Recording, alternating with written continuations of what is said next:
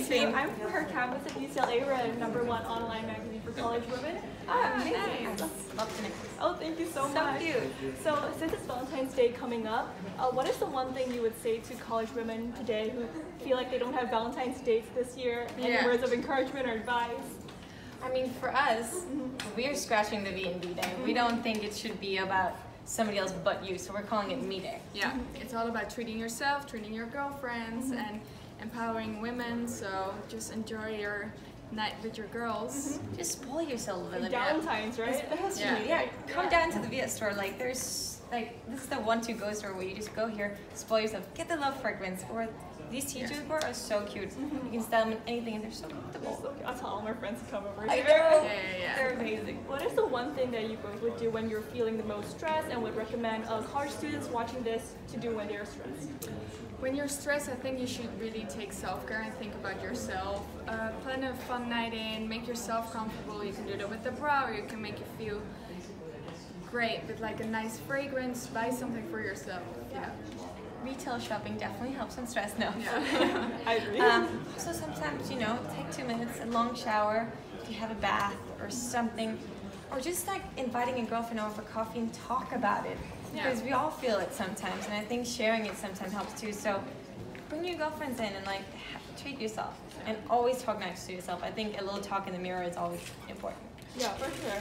And also, um, oh, Romee, I know that you went back to school like after 17, so you went back to finish school. What is Yeah. your most like favorite memory from school that year that you went back?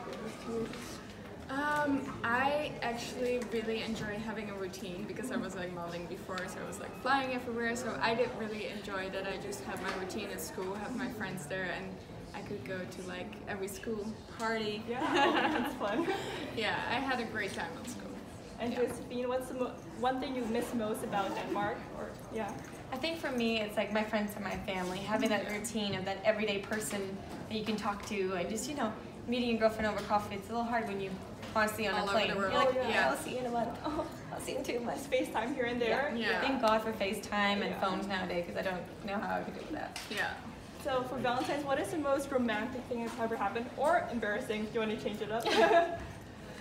Embarrassing. Mm.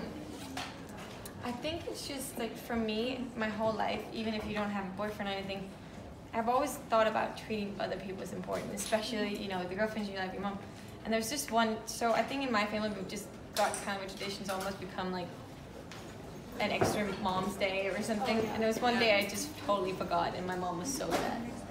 So that was the only thing. Because she's so used to it, I sent her like little flowers and it's like every day you just tell her you love her, you know, Yes. it's all yeah. good. Yeah. yeah. How about you? The most romantic or embarrassing date story? Uh, the most romantic dates is probably my first date when we went just for dinner and we had like pizza and it was just we went to the movies like a typical first date actually Yeah. but it was so The best romantic one. yeah Very so movie best yeah Before we wrap up, maybe a few quick questions. Chocolates or roses? chocolates. Oh. Sports bras or bralettes? Ooh. sport bras Yeah, Bras? I could live in my sports bra every day. And uh, Fifty Shades of Grey, yay or nay? nah Nah? yeah? depends I, I, I like the books Oh, I, like I didn't mind books too. So the books are better than movies, you think? Yes. yes All right, thank you so much for your time. Um, you. Can we take a picture? Of course. yeah sure